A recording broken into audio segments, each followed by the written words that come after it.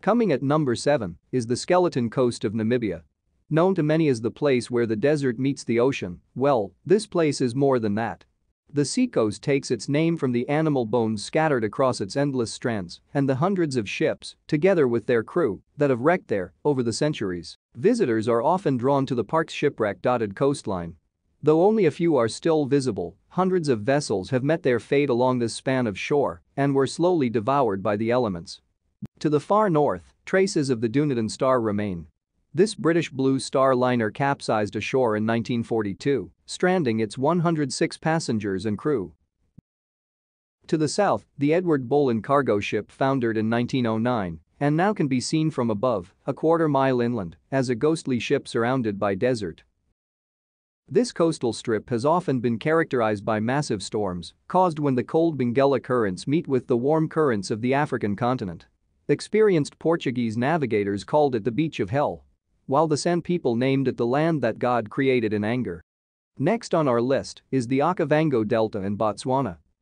Considered one of the largest inland deltas in the continent, the Okavango Delta is one of the most unexpected wonders of Africa since the Okavango River runs into the dry sands of the Kalahari Desert, creating a green waterlogged oasis with very clear lagoons and channels. The delta is home to a large number of species and has one of the most unique ecosystems in the planet. The Okavango area changes constantly due to the ever-changing seasons in the region.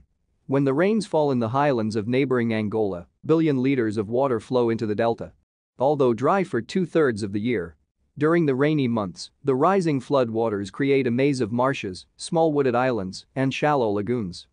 The delta is a nature haven that needs to be protected so that it does not meet the same fate that was experienced by other African inland deltas located in Sudan and Mali, which were even larger than the Okavango. In our number 5th spot is Tanzania's Lake Natron. Located in northern Tanzania, at the border with Kenya. This lake is highly alkaline, yet despite this, it is a breeding ground for hundreds of thousands of lesser flamingos, just like the other Rift Valley lakes in the eastern region of Africa. The lake is fed principally by Uaso Niro River that rises from central Kenya down to the Tanzanian border and by other mineral-rich hot springs. It sits below Ol Doinyo Lengai, a soaring active volcano in the Rift Valley. During eruption, the volcano emitted a rare type of lava rich in potassium and sodium carbonate that ran down the slopes into the lake. Since the lake has no outflow and doesn't receive regular rainfall, it endured evaporation from the heat for thousands of years. This led to the concentration of trona and natron in the leftover water, creating a highly toxic brine. The lake's salinity has welcomed salt-consuming bacteria, which carry different pigments. Which in the case of Lake Natron, their pigments paint the lake a striking red. Frequently, migrating birds crash into the lake's surface. No one knows for certain exactly how they die.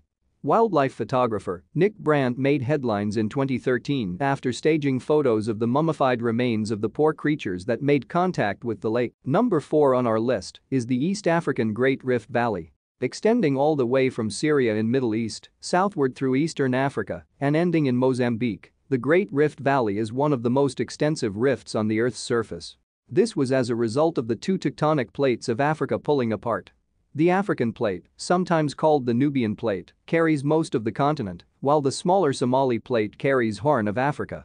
This rift valley is dotted by volcanoes like Erta Ale in Ethiopia, Mount Kenya in Kenya, Ol Doinyo Lengai in Tanzania, Mount Nyiragongo in Democratic Republic of Congo, and the most famous of all, Mount Kilimanjaro in Tanzania.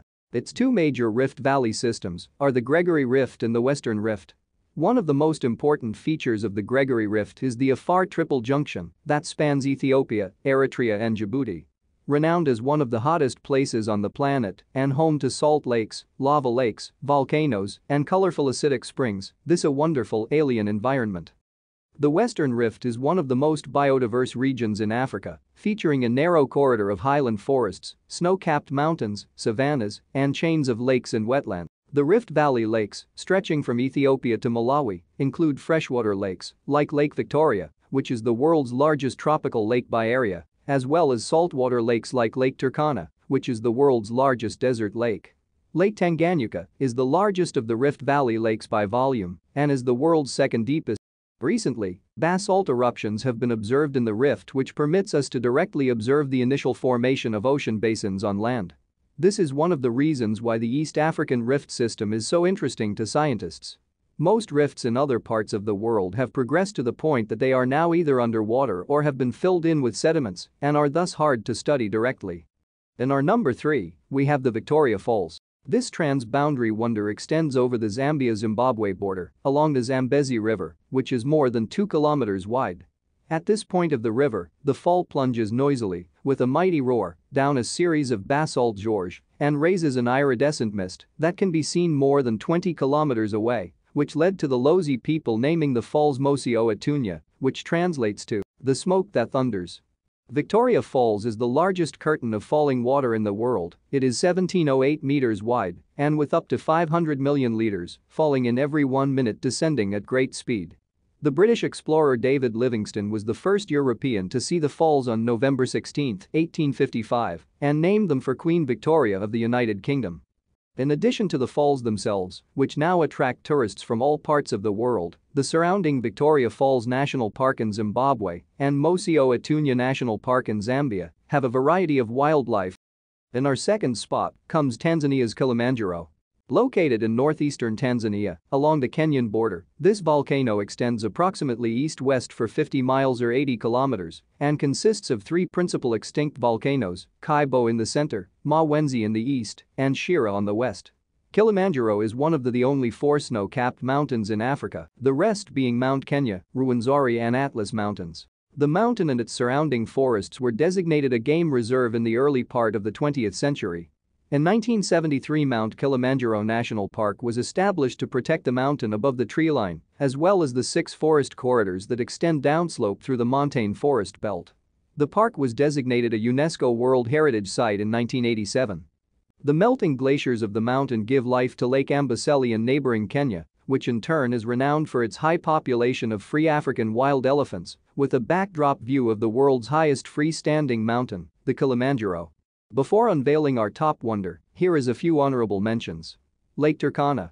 Located in the arid desert region of the Kenyan Rift Valley, with the northernmost tip crossing to Ethiopia, this is the world's largest desert lake. The lake is commonly known as the Jade Sea due to its incredible turquoise color as seen approaching from a distance. The lake has one of the longest living histories on the planet, and recent fossil evidences unearthed at Koobi Fora has led to the lake being referred to as the cradle of mankind. The Sahara Desert. Spanning across much of northern Africa, this is the third largest desert in the world. The Eye of the Sahara, also known as the Richet structure, is a geologic dome containing rocks that predate the appearance of life on Earth. The eye resembles a blue bullseye and is located in western Sahara. It is visible from space and has been used as a visual landmark by astronauts. Finally, at our number one place is the Mara Serengeti wildebeest migration. One of the most sought-after experiences for wildlife and nature enthusiasts, the Great Migration is the ever-moving circular migration of over a million animals across the Serengeti Mara ecosystem in Tanzania and Kenya. The Great Migration as it is known is the movement of a million-plus wildebeest from Serengeti in Tanzania northwards into the adjoining Masai Mara Reserve in Kenya. It is one of the world's most spectacular and thrilling display of wildlife behavior. The migration takes place every year, with the animals' primal instincts guiding them towards greener pastures, following the climatic rainfall patterns over the Serengeti Masai Mara ecosystem. Although numbers vary every year, past migrations have seen up to 1.5 million wildebeest, close to a million zebra, and large numbers of others animals undertake the long trek that lasts many weeks. Their journey is especially fraught with danger as they cross the crocodile-infested Mara and Talek rivers along the way, during which many cannot escape the giant Nile crocodiles lying in wait for their prey. If you enjoyed our video, don't forget to hit the like button and subscribe to the channel to help us grow.